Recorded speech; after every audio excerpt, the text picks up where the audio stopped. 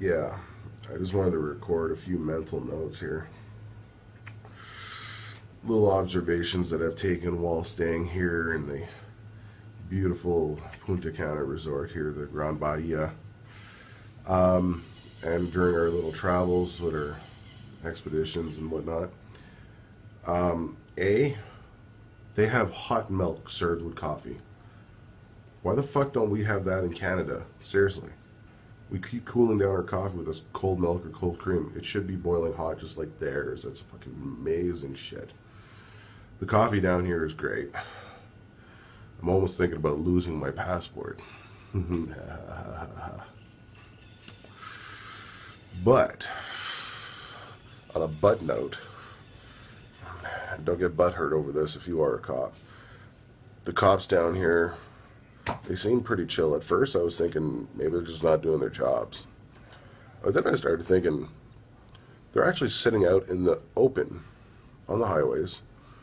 They are they have their lights on, especially at night, probably so you can actually find them in case you need help. And um, even when they're driving down the road, they got their lights on. Tour bus passes them. Vehicles pass them. I think they're just trying to remind people we're out here. Don't speed. Don't kill yourselves. It's pretty cool. I actually saw a cop with the lights on his truck, and he was just laying on the hood, just chilling. That's pretty fucking cool.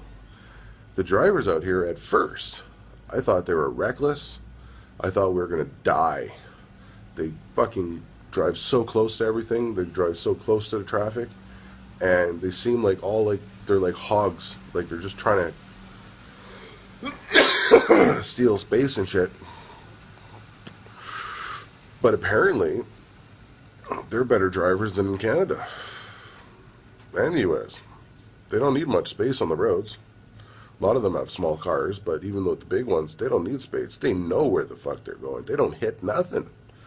I haven't seen anybody hit anything yet. It's awesome. There's obviously a few accidents here and there, but these guys know how to fucking drive, man. Not even kidding you. Fuck, they come like inches away from each other's vehicles.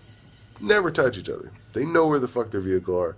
They're fucking zipping in and out of traffic. Perfect. Just perfect.